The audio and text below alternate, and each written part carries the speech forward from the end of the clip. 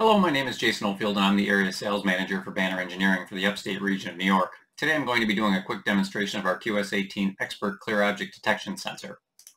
My setup includes a sensor along with a BRT 51X51BM microprism reflector and an S15L dual color indicator.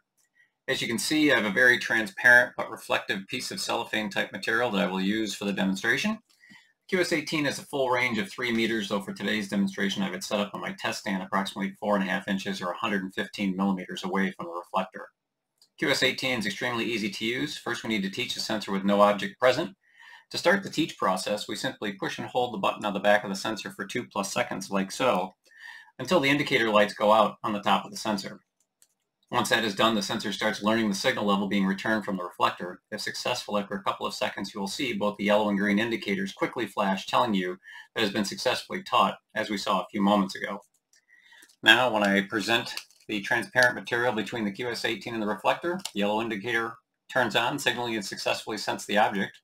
As you can see, the sensor is very repeatable and stable. So if you have any transparent objects you need to sense, such as bottles or labels, take a look at the QS18 Expert Series Clear Object Sensor from Banner Engineering.